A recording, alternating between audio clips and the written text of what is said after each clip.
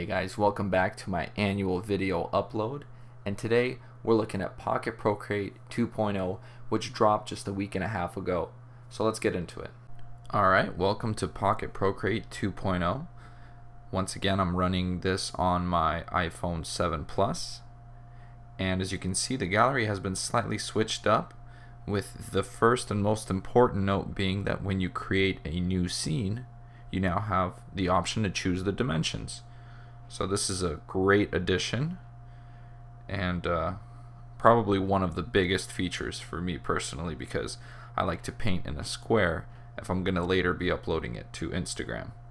So here we are looking at one of my recent paintings, popping open the layers tab.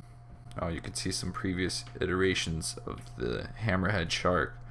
Uh, you can see that we now have a new option to add groups you can select multiple layers and delete them all at once or collapse them all. You can create masks. That's now an option.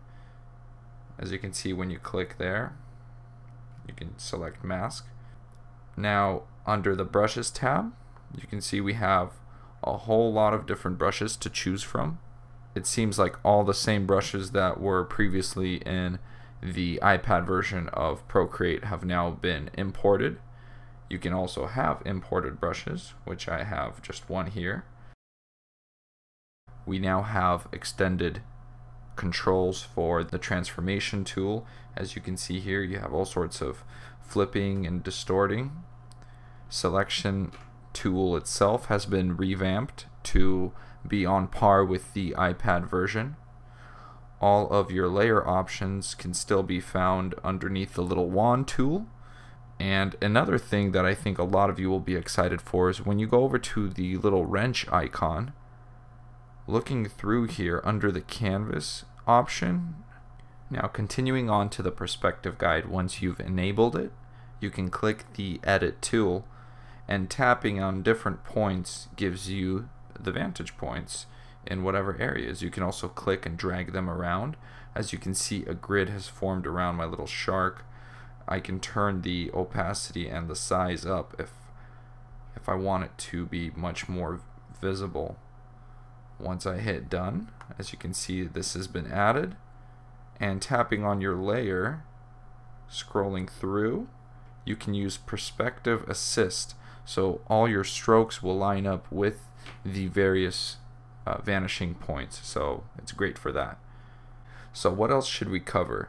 The engine of Pocket Procreate has been updated itself. So if I go ahead and choose a pencil, as you can see we have detailed pen options. Now one downside that I did notice with this app since it's you know a brand new update and it's quite large uh, I have had some crashing but thankfully none of the progress in the painting gets disturbed. So as soon as I jump back in the only downside is I can't undo the steps that I just did. We still have the option to choose smear brush and tapping on it once more will allow you to customize that.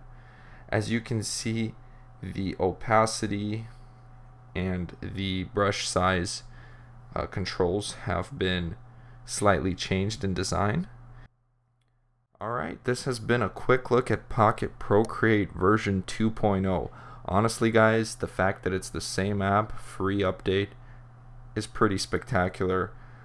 There's basically no more divide between using a tablet as opposed to your phone to create artwork.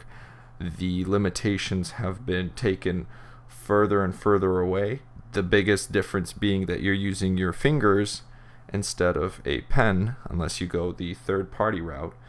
Overall, I think it's a super great step in the right direction. I have been enjoying painting with this app and I'm going to continue to do so. So, thanks for watching. Remember to leave a like, a comment if you got any questions. I'll try and answer to the best of my ability, and I will see you in the next one.